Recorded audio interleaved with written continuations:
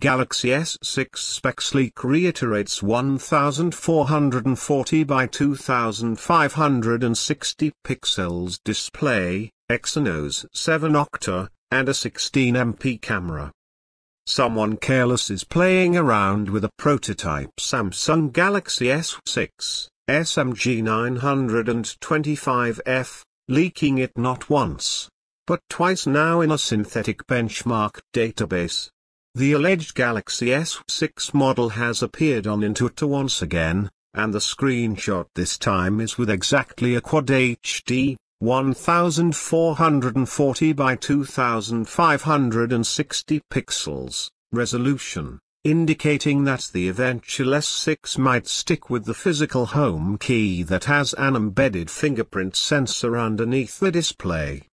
This, coupled with the rumors for a 5.5-inch screen diagonal, means that we might not see any wonders with a screen-to-body ratio of Samsung's upcoming flagship, but let's not get ahead of ourselves just yet.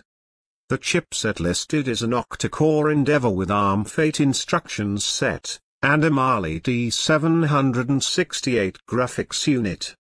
This could only be Samsung's upcoming Exynos 7420, part of the new 7-octa family, that features 64-bit architecture, clock speeds up to 1.8 GHz, and is done with the trendy 20 nanometers process.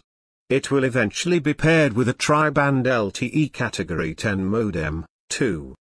So far so good, but here we come to the strange part.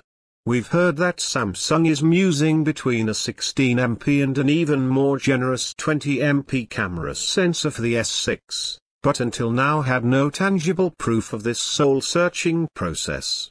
Well, the first AnTuTu leak had the SMG 925F model listed with a 20MP sensor, while this one is outfitting it with a 16MP shooter on the back. Also, Let's not forget that there might be two versions of the S6, a regular one for the mass Samsung fan, and a speculated experimental model with a dual-edged flexible AMOLED display, which will undoubtedly go for much more than the base version, similar to the Note 4 and Note Edge Duo. If history is any indication, we should see the S6 announced around the MWC Expo in February to March with an April release date to follow.